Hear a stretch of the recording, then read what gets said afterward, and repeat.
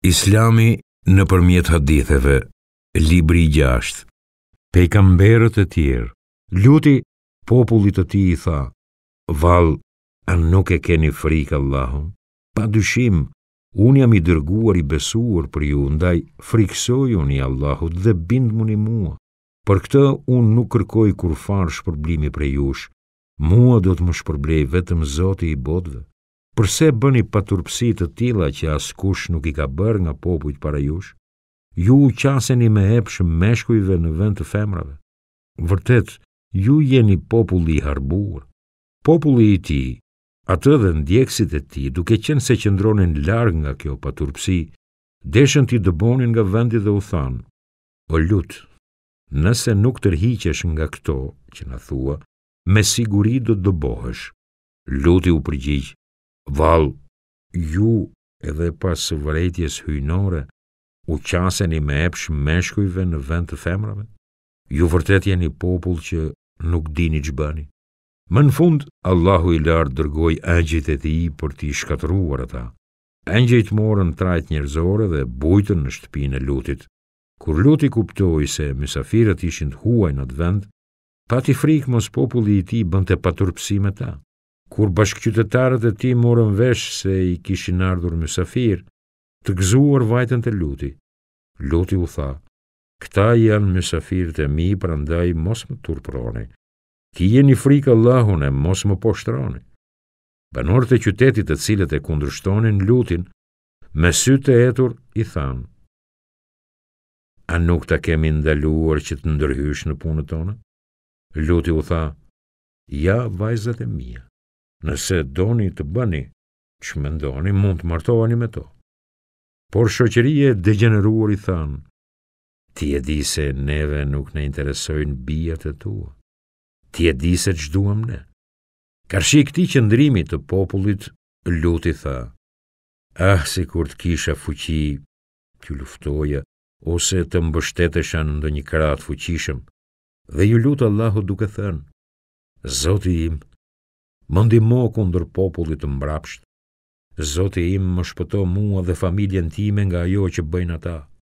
Mysafirët, të cilët e kuptuan situatën i thanë, o Lut, ne jemi të dërguar të zotit tënd, ata nuk mund të të bëjnë asgjë. Ne kemi sjellë atë dënimin për të cilin populli yt dyshojnë, kemi sjellë të vërtetën, prandaj të jesh i sigurt se ajo që të themi do të bëhet. Nisu me familjen tënde në një kohë të natës, shko pas tyre, askush prej jush të mos shikojë pas, por vazhdoni në drejtimin e urdhëruar. Përveç gruas tënde, lëre atë. Atë do ta godasë ajo që do t'i gjejë edhe ata. Afati i tyre është agimi. Vallë, a nuk është afër agimi? Kështu Luti e la bashkëshorten, mori anëtarët e tjerë të familjes dhe u largua nga ai vend. Ndërkohë, gjatë lindjes së diellit, ata i zuri një ushtimë e tmerrshme dhe mbi ta ranë gurë dhe dheu i pjekur. Në këtë mënyrë familja e Lutit me përjashtim të bashkëshortes së tij shpëtuan. Zotëriu ynë, Pejgamberi paqja qoftë mbi të duke thënë Allahu e mëshiroftë Lutin, ai u strehua në një kala të fortë, vinte në dukje se ai qe strehuar tek Allahu i madhëruar dhe në këtë mënyrë u tregonte shokëve se si Luti me gjithë sfidat i vazhdonte me vendosmëri të madhe përpjekjet në rrugën e monoteizmit të kulluar. Pejgamberi paqja qoftë mbi të, nga njëra anë vinte në dukje këmbënguljen e Lutit në përpjekje, e nga ana tjetër ua tërhiqte vërejtjen ndjekësve të tij, që të mos i afrohen një vepre të shëmtuar si homoseksualizmi që ishte përhapur mes popullit të Lutit, duke thënë, më e frikshmja prej gjërave që u frikësohem për ndjekësit e mi, është krimi që bënte populli i Lutit. Kur kemi parasysh se sot homoseksualizmi është përhapur dhe ka tentativa që të konsiderohet si e drejtë gjinore, shumë qartë e kuptojmë këtë brengë të zotërisë sonë Pejgamberit paqja qoftë mbi të. Po ashtu është gabim i madh që kjo vepër e shëmtuar në libra të ndryshëm cilësohet me emrin e Lutit si lutizëm apo livata. Prandaj është më e drejtë të përdoret emërtimi homoseksual që përdoret edhe në ditët tona. Allahu i lartë, popullit të Medjenit, i dërgoi për pejgamber Shuajbin. Shuajbi ishte vjerri i Musait. Musai u martua me bijën e tij dhe për këtë i shërbeu atij 8 ose 10 vjet. Edhe Shuajbi e ftonte popullin e tij të besonin Allahun. Ngaqë populli i tij ishte i njohur për padrejtësi në matje dhe peshim gjatë transaksioneve, ai ua tërhiqte vrejtjen me theks të veçantë në këtë çështje, duke u thënë: "O populli im, adhuroni Allahun. Ju s'keni tjetër Zot përveç tij. Mos bëni hile as gjatë matjes, as në kandar. Unë po shoh se ju gjendeni në begati dhe kam frikë se do t'ju godasë dënimi i një dite që ju përfshin të gjithë. O populli im, matni drejt në masë dhe peshë, mos ua hani hakun njerëzve dhe mos bëni ngatërresa në tokë. Ajo që ju është lënë nga Allahu është më e mirë për ju, nëse jeni besimtarë, e unë nuk jam ruajtësi juaj. Populli ia kthenin me të tallur duke i thënë, O Shuajb, A mos vallë namazi yt të urdhëron që ne t'i lëmë ato që i kanë adhuruar të parët tanë, apo që të mos bëjmë me pasurinë tonë çfarë të duam? Ti vërtet qenke i butë e i drejtë. Shuajbi u thoshte, o populli im, mendoni pak, nëse unë kam provë të qartë nga Zoti im, i cili më ka furnizuar me begati të mira nga ana e tij, a të mos ju udhëzoj në rrugën e drejtë? Unë nuk dëshiroj të bëj atë që jua ndaloj juve.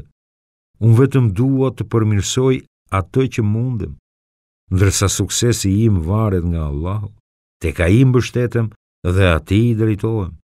Populli im, kundërshtimi ndaj meje të mos ju shpjerë kurrsesi që t'ju ndodhë ajo që i ndodhi popullit të Nuhut, apo popullit të Hudit, apo popullit të Salihut, Mos harroni se edhe populli i Lutit nuk ishte larg prej jush. Kërkojni falje Zotit tuaj dhe kthehuni me pendim tek ai. Vërtet, Zoti im është mëshirëplotë dhe i dashur. Por, kokëfortësia e popullit vazhdonte. Ata thanë, ne nuk kuptojmë shumëçka nga ato që na thua ti dhe të konsiderojmë të dobët mes nesh. Sikur të mos ishte farefisi yt, do të të kishim vrarë me gurë, Ti nuk je i respektuar ndër ne. Në fund nuk mbeti rrugë tjetër veçse t'i thuhej këtij populli, i cili jetonte në një luginë plot gjelbrim, por që nuk ishte i vetëdijshëm për begatitë e tij, se sa afër ishte dënimi i tyre. O populli im, a mos vallë farefisi im është më i respektuar për ju se Allahu, të cilit po i ktheni shpinën? Vërtet, Zoti im ka nën kontroll gjithçka që bëni ju. O populli im, bëni sa të mundni, por edhe unë do të bëj. Ju shpejt do ta mësoni se kë do ta gjejë dënimi aq poshtrues dhe kush është gënjeshtar. Pritni fundin, se edhe unë do të pres me ju. Papritmas, një mëngjes ata i përfshiu një dridhje e frikshme. Ranë në gjunjë aty ku ishin dhe nuk u çuan dot më. Thua se populli i Shuajbit nuk kishte jetuar kurrë aty.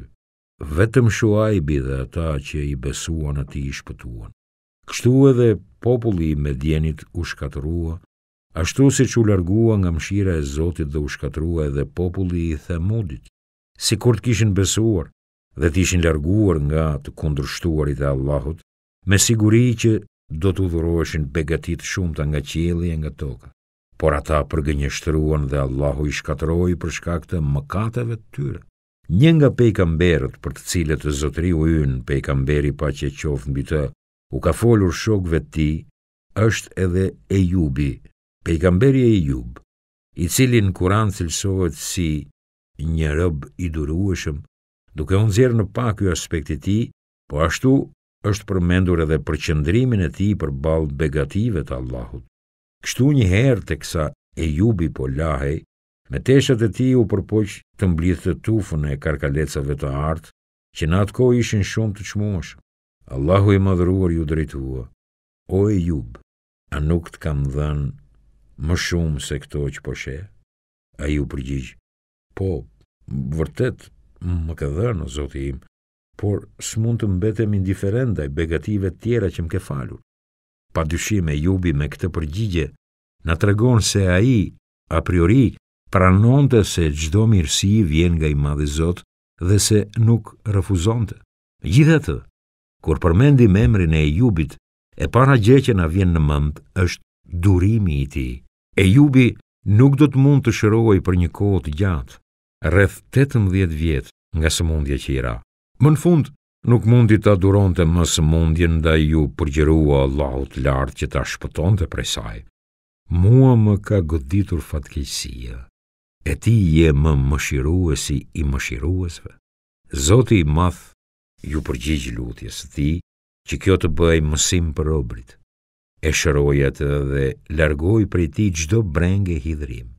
Ndër pejgamberët për të cilët ka folur i dërguari i Allahut paqja qoftë mbi të, janë edhe Iliasi, Eljesai dhe Dhulkifli, të prezantuar në Kur'an si të zgjedhur e të mirë. Iliasi popullit ti pa të thënë, a nuk i friksoheni Allahut? Val, a i luteni Baalit dhe e braktisni krijuesin më të mirë Allahun, Zotin tuaj dhe Zotin e të parëve tuaj të lashtë? Ata e përgënjështruan atë, prandaj do të jenë nga banorët e xhehenemit. Një nga pejgamberët për të cilët zotëriu ynë pejgamberi paqja qoftë mbi të, ka rrëfyer në detaje, është Junusi. Pejgamberi ynë paqja qoftë mbi të, duke vënë në dukje se nuk duhet bërë dallim ndërmjet pejgamberëve nga aspekti i virtytit të tyre, Përmend Junusin duke thënë, unë për askënd nuk mund them se është më i virtytshëm se Junus ibn Meta. Gjithashtu duke urdhëruar, askush prej jush të mos thotë për mua se jam më i mirë se Junusi, nga njëra anë vë në dukje se Junusi ishte rob i mirë dhe pejgamber, nga ana tjetër ua tërheq vëmendjen ndjekësve të tij se nuk ka epërsi mes pejgamberëve përfshirë Muhamedin paqja qoftë mbi të. Prandaj, shprehje të ngjashme me këto lidhur me pejgamberin Junus gjenden edhe në fjalë të tjera të pejgamberit fisnik të thëna në rrethana të ndryshme. Kjo tregon se Junusi zinte një vend të veçantë në jetën dhe mendimet e pejgamberit paqja qoftë mbi të. Junusi, i cili në Kur'an quhet edhe Dhun Nun e Sahibul Hut, që do të thotë i zoti i peshkut, i zemëruar ngaqë populli tek i cili ishte dërguar si pejgamber nuk e besoi atë, iku prej popullit e shkoi larg dhe gjatë rrugës hipi në një anije. Kur hipi në anije, ajo filloi të lëkundej dhe nuk mori rrugë. Junusi e kuptoi pse nuk po përparonte anija, sepse ai, ngaqë ishte zemëruar me popullin e tij, e kishte braktisur detyrën që i kishte dhënë Allahu për të thirrur dhe kishte zgjedhur ikjen. Junusi, pasi e kuptoi gabimin e tij, atyre që gjendeshin në anije ua tregoi shkakun dhe u kërkoi ta hidhnin nga anija. Por ata nuk guxuan ta hidhnin një pejgamber nga anija dhe vendosën të shtinin short. Shorti i doli Junusit dhe ai u hodh nga anija. Pejgamberin Junus të hedhur nga anija me lejen e Allahut e gëlltiti një peshk. Junusi duke qenë në barkun e peshkut, i brengosur ju u përgjërua Zotit. S'ka Zot tjetër të denjë për adhurim përveç teje, qofsh i lavdëruar, unë vërtet kam gabuar. Allahu i madhëruar iu përgjigj lutjes së tij dhe e shpëtoi nga ajo gjendje ku ndodhej. Pejgamberin Junus, i cili shpëtoi nga barku i peshkut, Allahu i lartë e nxori në breg të raskapitur. dhe bëri që pranë tij të mbinte një bimë me gjethe të mëdha që t'i bënte hije.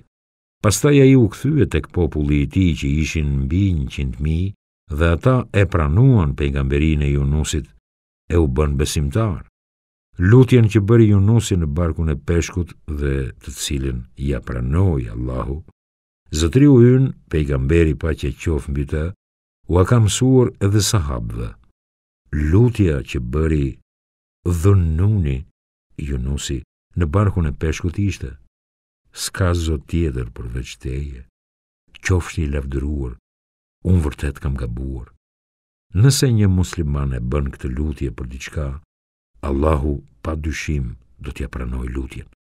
I dërguari fisnik, i cili ua pati treguar historinë e Junusit shokëve të tij që ata të nxirrnin mësim, Njëherë kur po kalonte me sahabët në shpatin Hersha mes Mekës dhe Medinës, i pyeti ata cila kodër ishte ajo, e kur ata iu përgjigjën Kodra Hersha, pejgamberi i bekuar paqja qoftë mbi të tha, sikur e shoh Junusin të kalojë nga kjo luginë hipur mbi një deve femër të kuqe, me dizgjin të thurur nga fibrat e hurmës, të veshur me një xhybe leshi, duke thënë telbije. Zotëriu ynë, pejgamberi paqja qoftë mbi të, krahas këtyre pejgamberëve, rrëfimet e të cilëve i kemi cekur më lart, ka folur edhe për Dhulkarnejnin, Uzejrin dhe Lukmanin, pejgamberia e të cilëve në Kur'an nuk është edhe aq e qartë. Dhulkarnejni, të cilit Allahu i dhuroi fuqi, autoritet dhe i tregoi rrugën për të arritur çdo gjë që i nevojitej, përmendet në Kur'an si dikush që ka ndërmarrë ekspedita në lindje dhe perëndim. Për sa i përket Uzejrit, në Kur'anin fisnik thuhet: Hebrenjtë thonë, Uzejri është biri i Allahut. E të krishterët thonë, Mesihu është biri i Allahut. Këto janë fjalët e tyre nga goja e tyre, që imitojnë fjalët e mohuesve të mëparshëm. I vraftë Allahu. Si shmangen nga e vërteta. Pejgamberi ynë ka thënë se nuk e di nëse Uzeri ka qenë apo jo pejgamber. Kurse Lukmani ka qenë njeri të cilin Allahu i madhëruar i pati dhuruar urtësi që ai ta falënderonte atë. Lukmani më së shumti kujtohet për këshillat e urta dhënë të birit Biri im, mos i bëj shok Allahut. Pa dyshim, idhujtaria është padrejtësi shumë e madhe. Biri im, edhe nëse ajo që ke bërë, e mirë apo e keqe, të jetë sa fara e sinapit dhe të jetë në shkëmb, në qiej apo në tokë, Allahu do ta nxjerrë në shesh. Vërtet, Allahu di mirë çdo imtësi dhe i di të gjitha fshehtësitë. Biri im, kryeje namazin, Urdhëro të mirën, pengoje të keqen dhe bëhu i durueshëm për çfarëdo që të godet. Vërtet, këto janë gjëra për të cilat ia vlen të përpiqesh. Mos i përçmo njerëzit dhe mos ec mbi tokë me mendjemadhësi, sepse Allahu nuk i do mendjemëdhenjtë e mburracakët. Ec me kujdes e i përmbajtur dhe fol me zë të ulët, sepse zëri më i vrazhdë është zëri i gomarit. Këto rrëfime dhe shembuj që na i ka treguar Pejgamberi ynë lidhur me pejgamberët e mëparshëm janë elemente që kanë mundësuar vazhdimësinë dhe vitalitetin e shoqërisë islame. Pejgamberët që Allahu i Lartë i ka dërguar njerëzimit gjatë historisë nuk janë vetëm këta. Këtë të vërtetë e kuptojmë edhe nga këto fjalë të Zotit tonë të madhëruar. Për disa të dërguar të kemi treguar më parë dhe për disa të tjerë nuk të kemi treguar. Krahas pejgamberëve të përmendur, ka pasur shumë e shumë pejgamberë e popuj të tjerë. Përcjellja e historive të pejgamberëve është me rëndësi për të gjithë muslimanët që do të vijnë deri në Kiamet, që të krijojnë një vetëdije historike, si dhe që të kuptojnë ligjin e pandryshueshëm të Allahut në ngritjen dhe rënien e popujve. Po ashtu, këto histori të rrëfyera janë me rëndësi edhe për efektin e rritjes së fuqisë shpirtërore të muslimanëve, duke filluar nga pejgamberi ynë, sepse e kaluara e një shoqërie është kujtesa e saj, kurse kujtesa është themeli i identitetit të saj. Një shoqëri që e humb kujtesën, e humb edhe identitetin. Nga e kaluara deri sot, nuk duhet harruar asgjë nga çfarë formon identitetin e kësaj shoqërie. Atëherë, A nuk duhet që përvojat e pejgamberëve të mëparshëm të mos i rrëfejmë e t'i dëgjojmë vetëm si përralla duke i mbajtur jashtë përditshmërisë sonë, por ashtu siç këshillon shumë herë edhe Kurani fisnik, vallë, a nuk kanë udhëtuar ata nëpër botë për të parë si ka qenë përfundimi i të mëparshmëve, të cilët kanë qenë më të fortë se këta? T'i rimendojmë çdo herë ato me qëllimin për të nxjerrë mësime, ta përthithim, ta përvetësojmë dhe ta marrim si shembull mënyrën e jetesës së të dërguarve të Allahut.